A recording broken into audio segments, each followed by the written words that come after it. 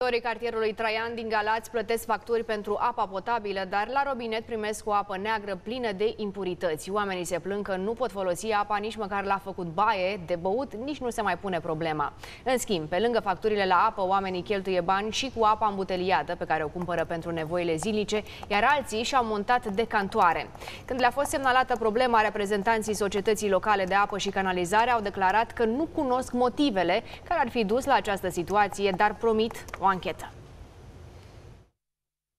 De cine vreți să ieșiți la iarbă verde de 1 mai sau petreceți sărbătorile pascale?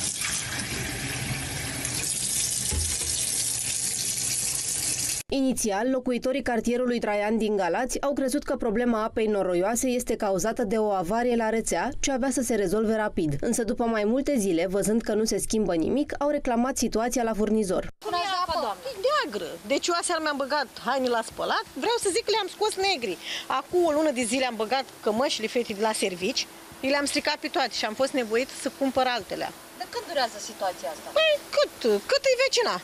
Sunt două luni, mai bine, mai bine de două luni, nu?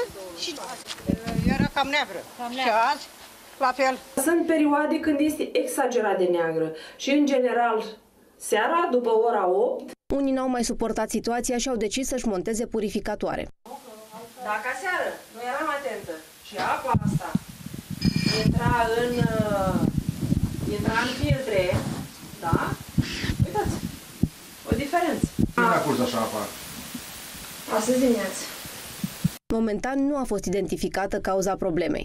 Acum uh, am trimis uh, echipa de intervenție pentru verificare, vom preleva și probe de apă și vom uh, continua monitorizarea zonei pentru identificarea cauzelor. Aveți Cu lucrări sigur. cumva în zonă de unde ar fi putut să Uh, apară În probleme? acest am avut, e adevărat, am avut